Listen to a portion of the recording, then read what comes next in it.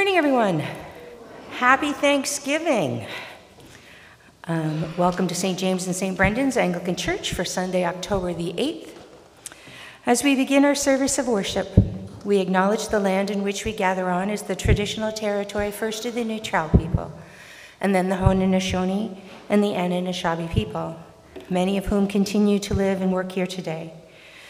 This territory is covered by the Upper Canada Treaty, the Niagara Purchase Treaty, and is within the, and is within the land protected by the Dish with the One Spoon Wampum Agreement. Today, this gathering place is home to many First Nations, Métis, and Inuit people. Let us continue to work towards reconciliation with our siblings and always remember that our great standard of living is directly related to the Indigenous people's resources and their care for this land. Please stand for our processional hymn, number 423, How Great Thou Art.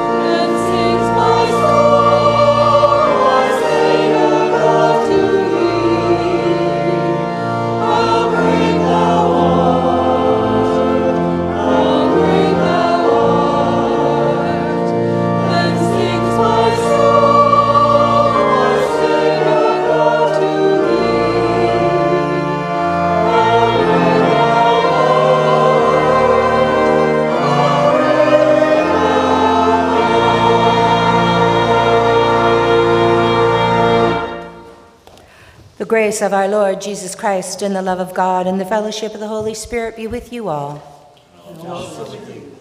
Almighty God, to you all hearts are open, all desires known, and from you no secrets are hidden. Cleanse the thoughts of our hearts by the inspiration of your Holy Spirit, that we may perfectly love you and worthily magnify your holy name through Christ our Lord. Amen. To God in the highest. And peace to his people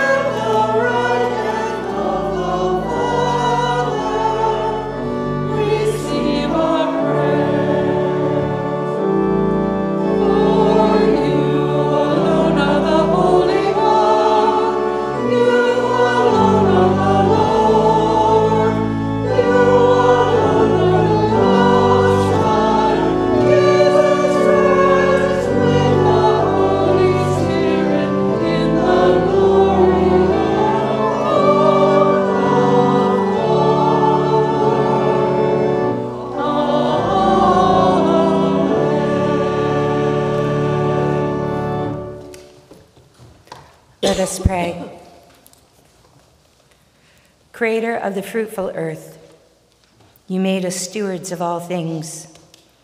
Give us grateful hearts for all your goodness and steadfast wills to use your bounty well, that the whole human family today and in generations to come may with us give thanks for the riches of your creation. We ask this in the name of Jesus Christ the Lord. Amen. Please be seated for the first reading.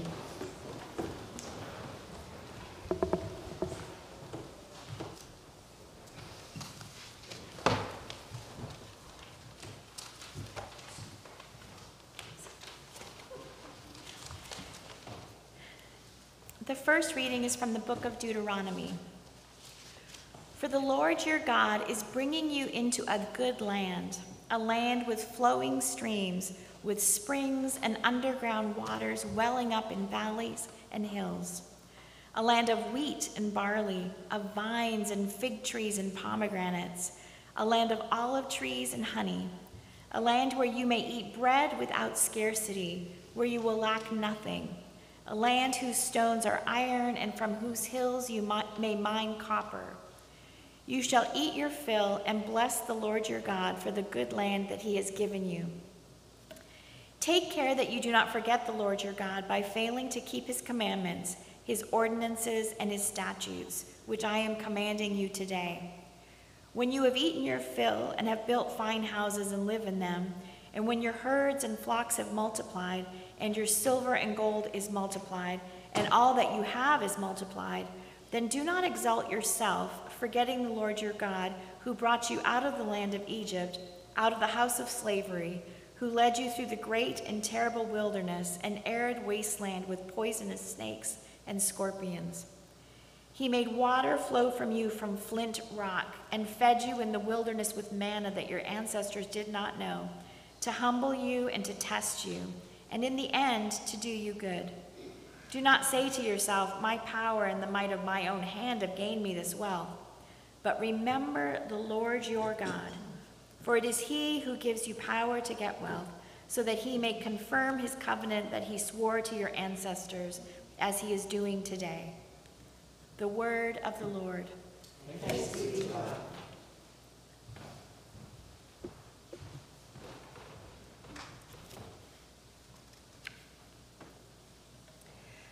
We will say Psalm 65 responsively by the full verse. You are to be praised, O God, in Zion, To you shall vows be performed in Jerusalem. To you that hear prayer shall all flesh come because of their transgressions. Our sins are stronger than we are, but you will not blot them out. Happy are they whom you choose and draw to your courts to dwell there. They will be satisfied by the beauty of your house, by the holiness of your holy temple. Awesome things will you show us in your righteousness, O God of our salvation, O hope of all the ends of the earth and of the seas that are far away. You make fast the mountains by your power. They are girded about with might. You still the roaring of the seas, the roaring of their waves, the clamor of the peoples. Those who dwell at the ends of the earth will tremble at your marvelous signs. You make the dawn and the dusk sing for joy. You visit the earth and water it abundantly. You make it very plenteous. The river of God is full of water. You prepare the grain, for so you provide for the earth. You drench the furrows and smooth out the ridges. With heavy rain you soften the ground and bless its increase. You crown the year with your goodness, and your paths overflow with plenty. May the fields of the wilderness be rich for grazing, and the hills be clothed with joy. May the meadows cover themselves with flocks, and the valleys cloak themselves with grain. Let them shout for joy and sing. Lord God, joy marks your presence. Beauty, abundance, and peace are tokens of your work in all creation. Work also in our lives, that by these signs we may see the splendor of your love and praise you through Jesus Christ our Lord. Amen.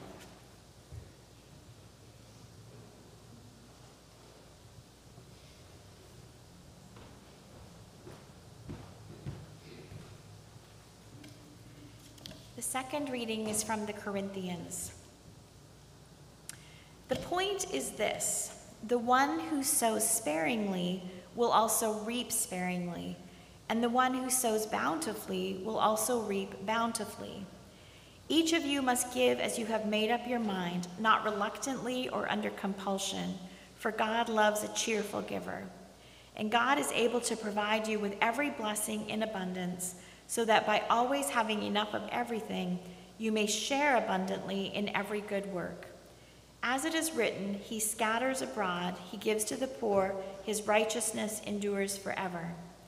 He who supplies seed to the sower and bread for food will supply and multiply your seed for sowing and increase the harvest of your righteousness. You will be enriched in every way for your great generosity, which will produce thanksgiving to God through us. For the rendering of this ministry not only supplies the needs of the saints, but also overflows with many thanksgivings to God. Through the testing of this ministry, you glorify God by your obedience to the confession of the gospel of Christ and by the generosity of your sharing with them and with all others, while they long for you and pray for you because of the surpassing grace of God that He has given you. Thanks be to God for His indescribable gift. The word of the Lord. There is no shadow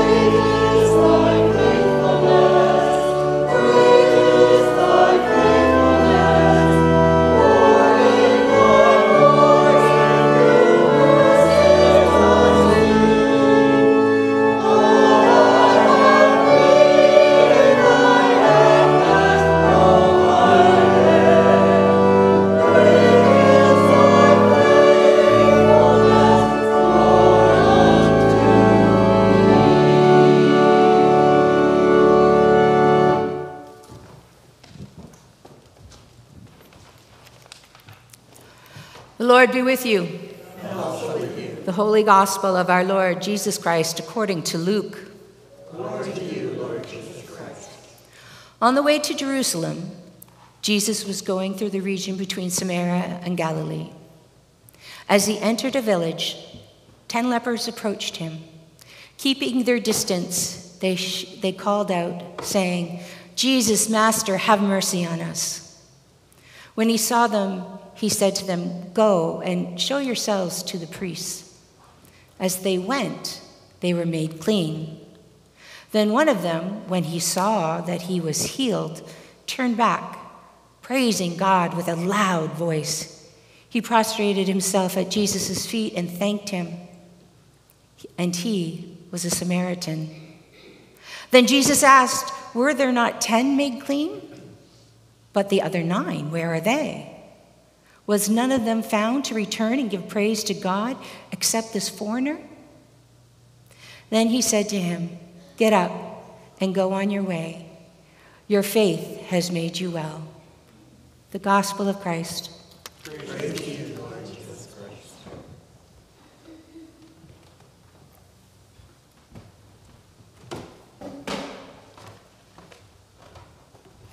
May the words of my mouth and the meditation of all our hearts be acceptable in the sight of God, our strength and our Redeemer. Amen.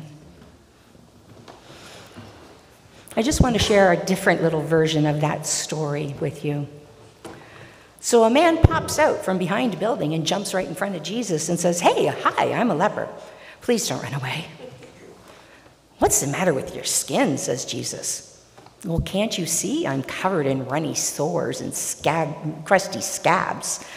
Nobody wants to look at me. My face is horrible. Well, what do you want me to do about it? The man falls to his knees, begging Jesus, You can make me better. I know you can. Please, if you do not heal me, I'm just going to scratch myself to death. Well, Jesus, being Jesus, reached out to touch the man. The man, startled, pulled himself away and said, Please don't touch me. I don't want you to catch this. Jesus looked at the man and said, I'm not afraid to touch you. He reached down, he took a hold of the man's arms, and he pulled him to his feet. Instantly, the itching stopped.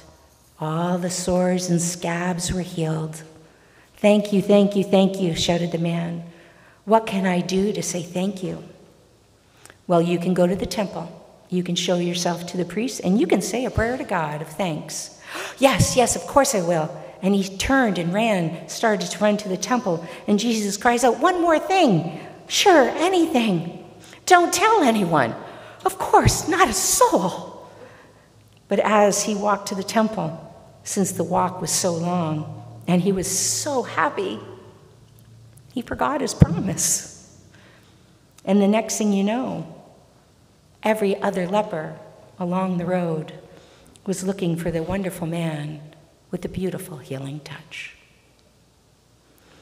Just a little different version. It's from the Family Book of Jesus by Calvin Miller. It's a great story of gratitude.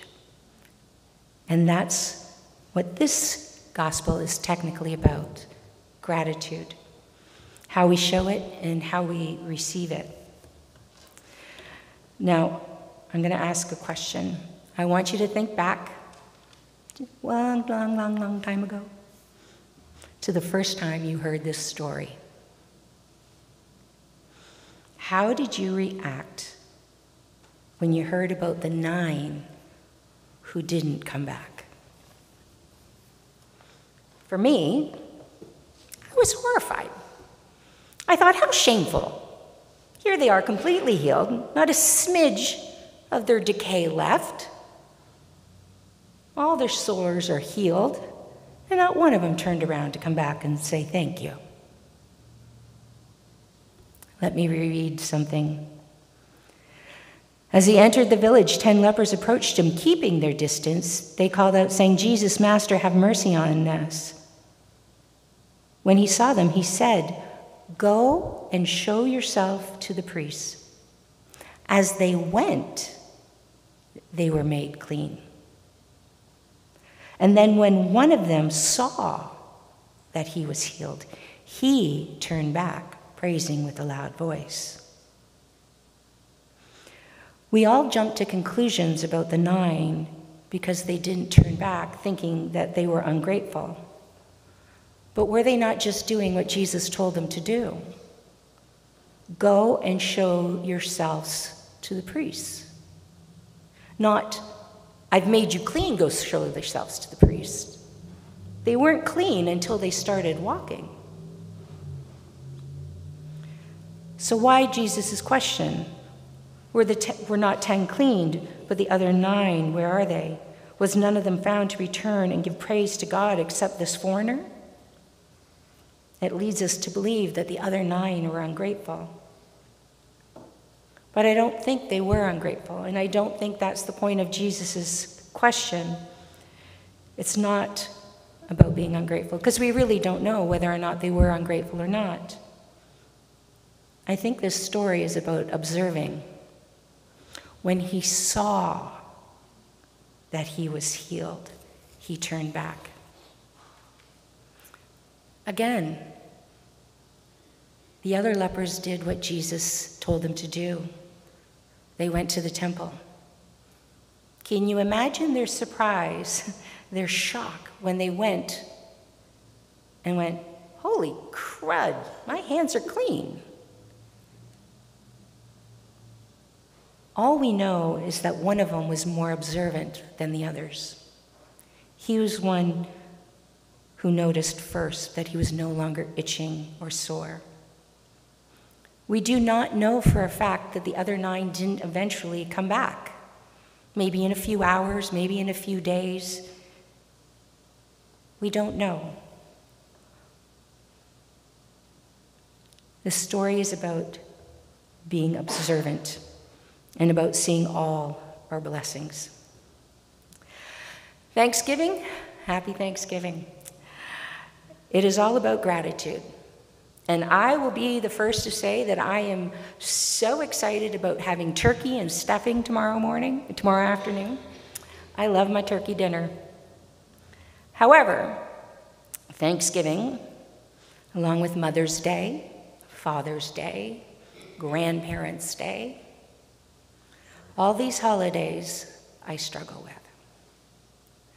And I struggle with them because really we should be giving gratitude every single day. If you have good parents and a good relationship with them, you should really be telling them all the time that you love them, not just on one Sunday a month or one Sunday a year. We should be sharing our gratitude every single day, not on just these Hallmark weekends.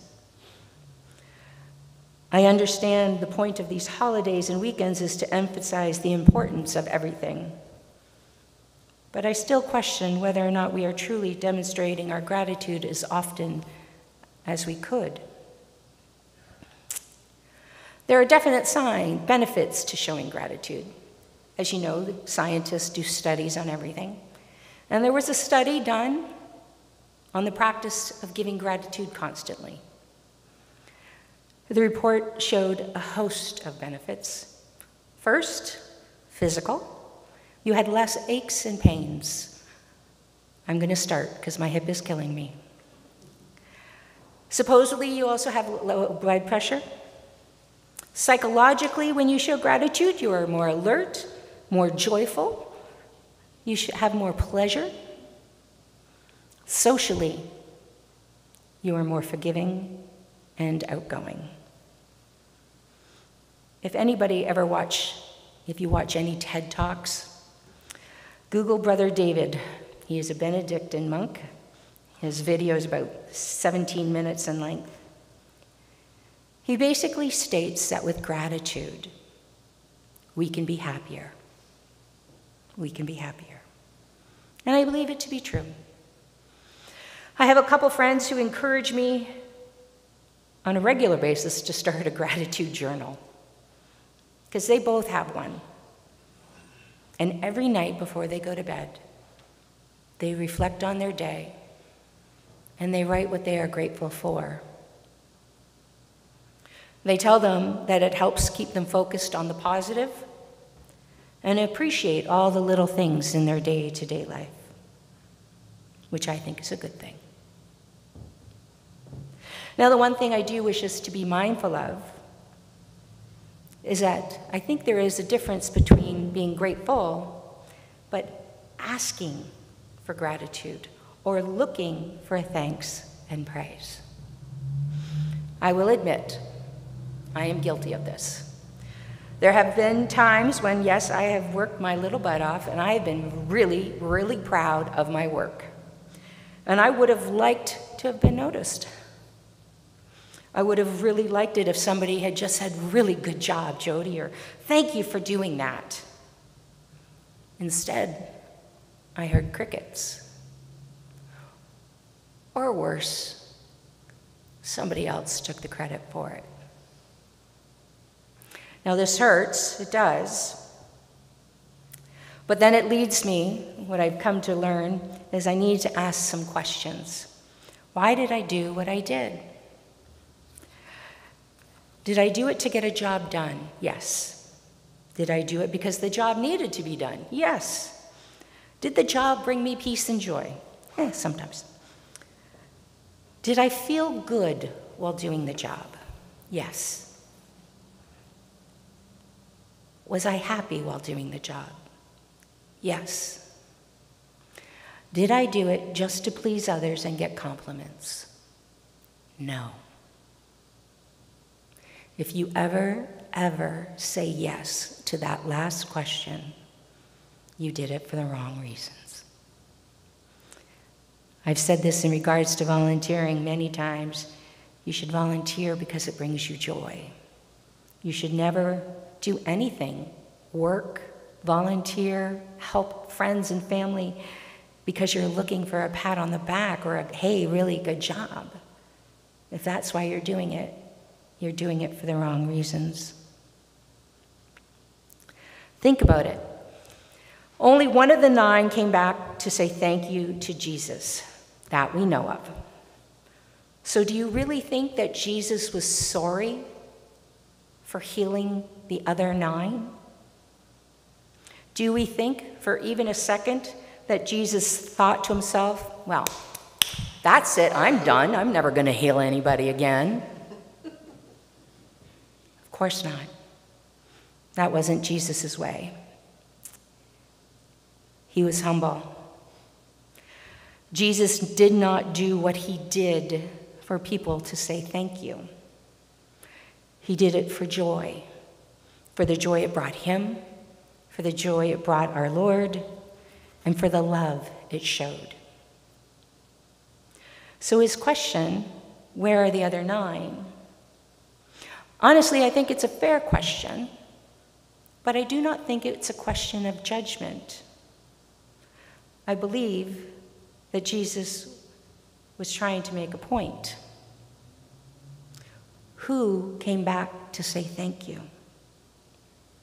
The Samaritan, the person whom the Jewish people considered less than, the last person anybody would have expected to come back and say thank you. Jesus was making a point. Do not expect thank yous from the ones you actually expect thank yous from. Rather, realize that you are more likely to get a thank you from the unexpected. This Thanksgiving weekend, we are meant to be observant, humble, and grateful. By being observant, we see all our blessings. And we are grateful and we share all our talents and skills.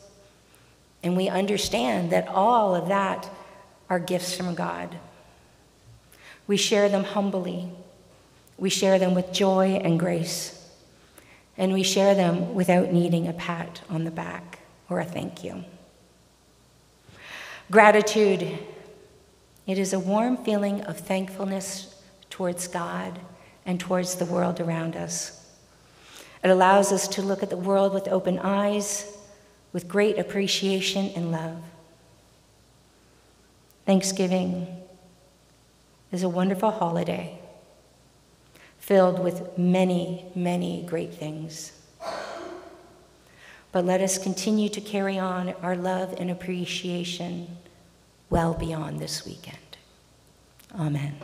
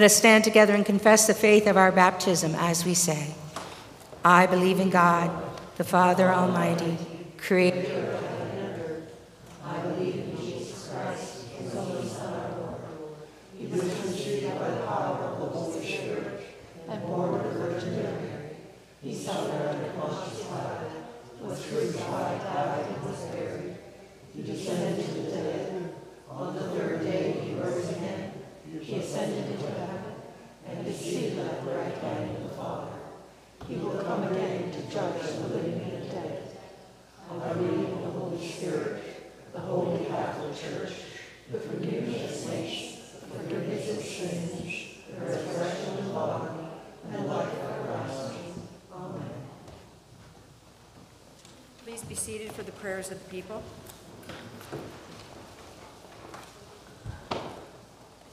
As we share in this gathering on this Thanksgiving Sunday, let us rejoice in all our abundances with hearts full of gratitude and reach out to the source of all blessings and the provider of every good thing, saying, Be near to us in every need. Gracious God, we lift our voices in thanksgiving for your unfailing love and patient care. You are the shepherd of our souls, leading us through the challenges of life and providing for our every need. As we look back on our journey, we are grateful for the surpassing value of knowing Christ, the one who embodies your grace and truth. Through faith in Christ, we find righteousness and hope for the world. In times of trial and uncertainty, your love sustains us, and your promises give us strength. We thank you for your faithfulness throughout generations, guiding your people, the vineyard of the Lord, with your steady hand. Let us call on the Lord. Be near to us in every need. Everlasting God, you want us to be a generous people, offering our time, talents, and treasure to your service. Guard us, Lord, from holding back when we should be letting go, and honoring you as Lord of all we have. We pray for the work of our primate Linda, Bishop Susan, Rector Jody, and clergy everywhere, that they may remain faithful to their calling and rightly proclaim the word of truth. We pray for the parish of St. James and St. Brendan that we will be ambassadors for your teachings and live our lives to your glory. We remember today those on our parish list Jessica Bull, John and Marie Butt, Peter Biscos, Chris and Lynn Carter, Eleanor Sharuk, Colin Chilvers, J.C. Cloutier and Diana Rutherford, their families and loved ones. Let us call on the Lord. Be near to us in every need. Loving God, the comforter of the afflicted and hope of the hurting, we lift up people in need of your healing touch and comforting presence. In the face of pain and suffering, we find hope in your promises and the assurance that you are with us. Hear our prayers for the brokenhearted, the sick, and the suffering. We lift up those who are burdened with physical ailments, emotional distress, and spiritual uncertainties. On our healing prayer list, we pray for Kelly Bennett, Don Brown, Doug and Mary Cullen, Elizabeth Ebert, Eleanor Kendall, Jackie Roy, Pam Simons, Doug Stewart, Cheryl Wakefield, Angela, Emily, Glenn, Chris, Slater, Michael, Maria, Ernie, Stephen, Betsy Perez, Catherine, Margaret, and Lindsay Shura. May they experience the hope and restoration that comes from knowing you. We pray for the lonely and the oppressed and the marginalized, that they may find solace in your love and find justice and equity in our society. May your church be a beacon of hope, reaching out to those in need with compassion and support. Let us call on the Lord. Be near to us in every need. Holy One, you are our comfort and strength in times of sudden disaster, crisis, and chaos. Surround those now with your grace and peace who are suffering through storms, earthquake, fire, flood, or any other terrible disaster. By your Spirit, lift up those who have been affected. Sustain those who work to rescue or rebuild, and fill them with the hope of your new creation. Through you, our rock and our Redeemer. Let us call on the Lord. Be near to us in every need. For those who have passed from this life, that they celebrate the Lord's greatness in the gift of salvation, and that those who grieve for them are comforted in the strength and warmth of your loving embrace. Let us call on the Lord. Be near to us in every need. In the name of Jesus Christ, our Savior, and the reason for our thanksgiving, we offer our praise. May our hearts overflow with gratitude, and may our lives bear the fruits of gratitude, love, and kindness. In your grace, Lord, be near us in every need. Amen.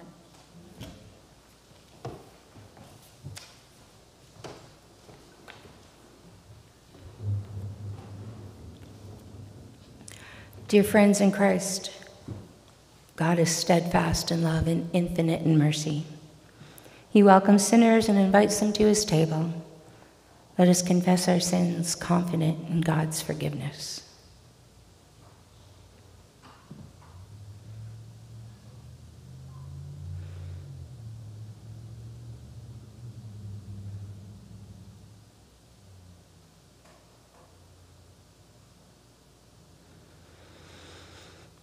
Most merciful God, We confess that we have sinned against you in thought, word, and deed, by what we have done, by what we have left undone. We have not loved you with our whole hearts. We have not loved our neighbors as ourselves. We are truly sorry, and we humbly repent. For the sake of your Son, Jesus Christ, have mercy on us and forgive us, that we may delight in your will and walk in your ways to the glory of your name. Amen. May Almighty God have mercy upon you, pardon and deliver you from all your sins, confirm and strengthen you in all goodness, and keep you in eternal life through Jesus Christ our Lord. Amen. Please stand. May the peace of the Lord be always with you. And also with you. Let's share each other's sign of peace. Peace be with you at home. Peace be with you. Peace.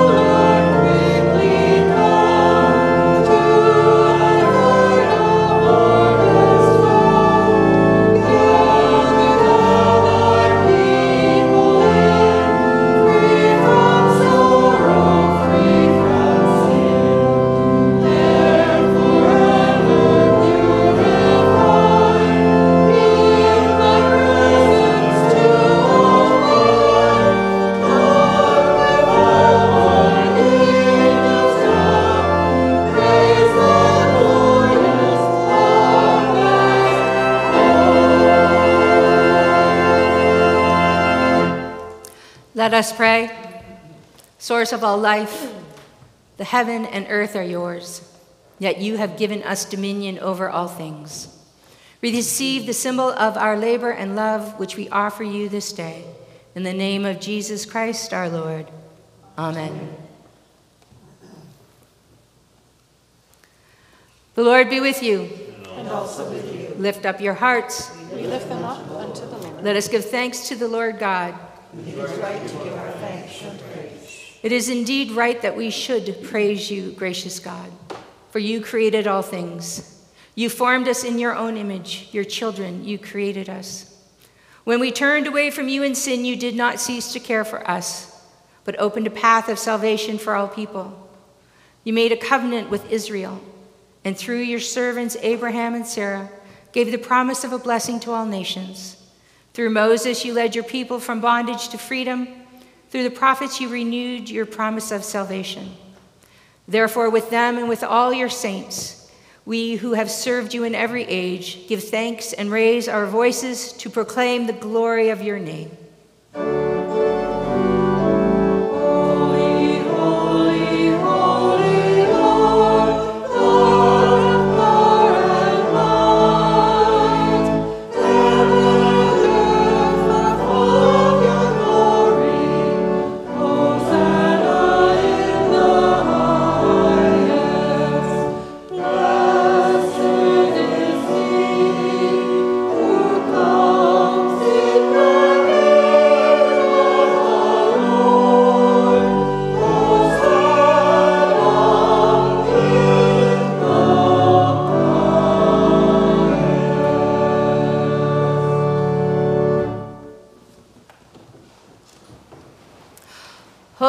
God, source of life and goodness, all creation rightly gives you praise.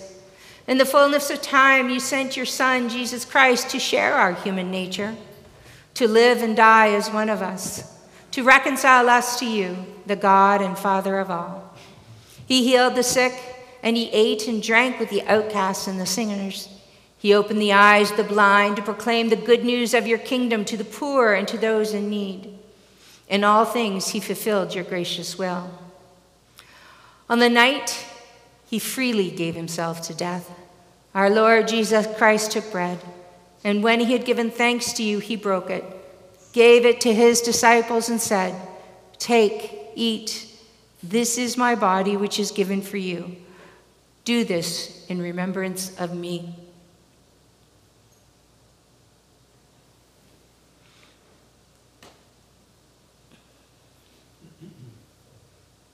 After supper, he took the cup of wine.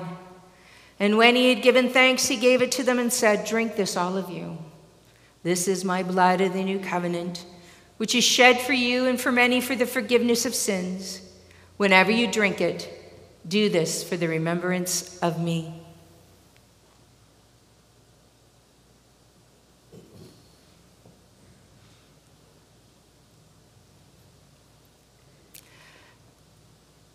Gracious God, his perfect sacrifice destroyed the power of sin and death. By rising him to life, you give us life forevermore. Therefore, we proclaim the mystery of faith. Christ has died, Christ is risen, Christ will come again. Recalling his death and proclaiming his resurrection and looking for his coming again in glory, we offer you, Father, this bread and this cup. Send your Holy Spirit upon, these, upon us and upon these gifts, that all who eat and drink at this table may be one body and one holy people, a living sacrifice in Jesus Christ our Lord. Through Christ, with Christ, and in Christ. In the unity of the Holy Spirit, all glory is yours, Almighty Father, now and forever. Amen. Now, as our Savior Christ has taught us, we are bold to sing.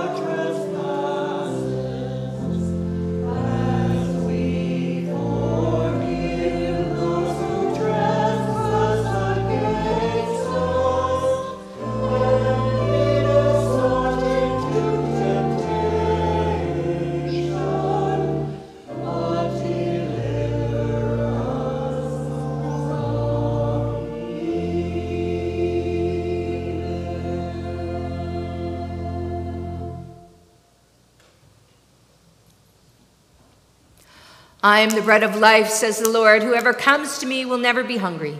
Whoever believes in me will never thirst. Taste and see that the Lord is good. Happy are they who trust in him. These are the gifts of God for us, the people of God. Thanks be to God.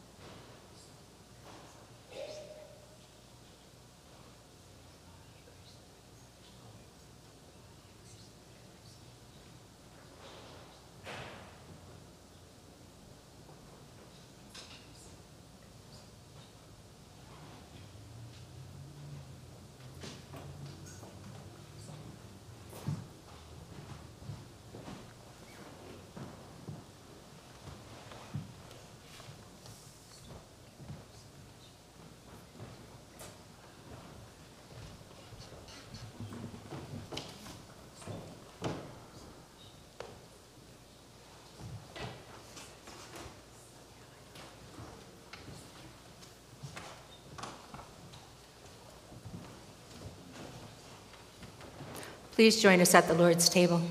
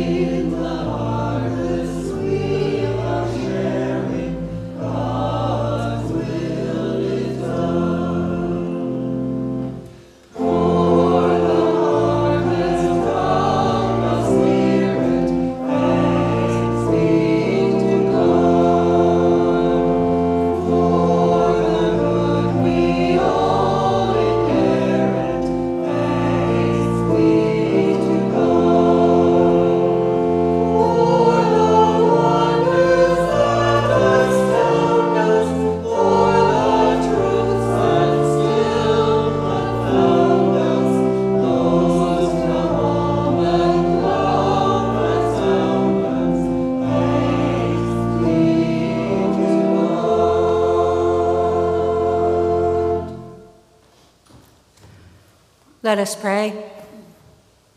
God of our hope in this Eucharist, we find the source of all your blessings. Nourish us in these holy mysteries. May we, with our lives, give you continual thanks and praise. We ask this in the name of Jesus Christ our Lord. Amen. Please stand. Glory to God, whose power working in us can do infinitely more than we can ask or imagine. Glory to God from generation to generation, in the church and in Christ Jesus, forever and ever. Amen. May the peace of God, which passes all understanding, keep your hearts and minds in the knowledge and love of God and of his Son, Jesus Christ our Lord. And may the blessing of God Almighty, Father, Son, and Holy Spirit be among you and remain with you this day and forever. Amen. Please be seated for just a few announcements. See, that was supposed to be on the 8:30.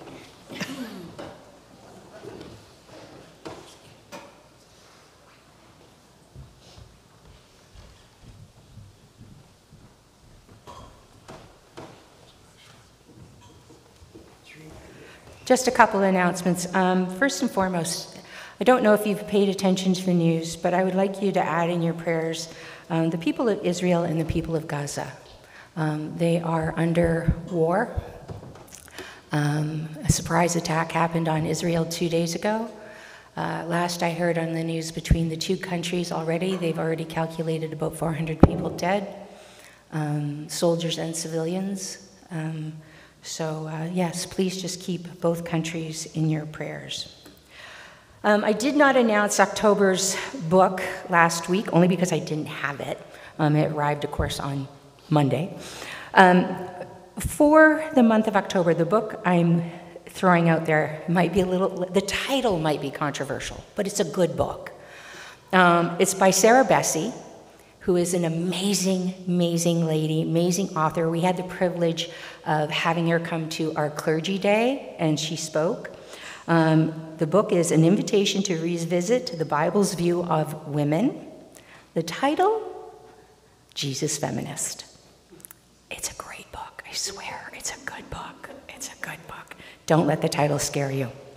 Um, and last but not least, the Christmas house tour. I have had so many people come up and go, How much are the tickets? How much are the tickets? How much are the tickets? I don't know. I don't know. Um, the committee and I are meeting on Thursday. Uh, I, I, I, believe we are going to make a decision on Thursday.